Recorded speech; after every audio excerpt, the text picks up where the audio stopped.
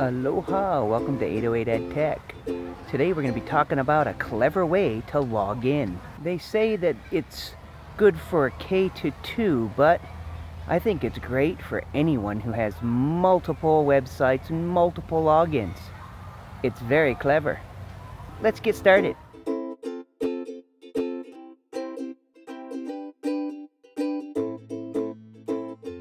Today I'm at clever.com. Clever Badges is a very simple method for logging into your school accounts.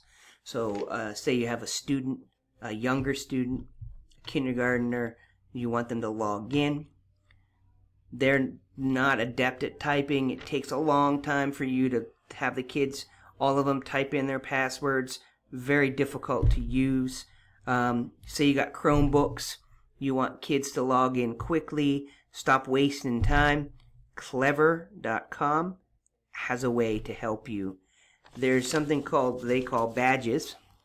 And basically, it's a badge with a QR code.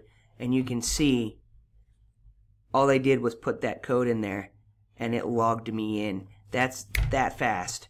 So, Clever is a great way to do it. Uh, it'll log you into all, and all the apps are all right there that you need. It'll log you into your account, and all your apps are there. Great for Chromebooks. Great for elementary school, middle school, maybe even high school. You never know. Any any place where you have multiple uh, apps that have multiple different logins, Clever could help you put it into one area. Such a good time saver.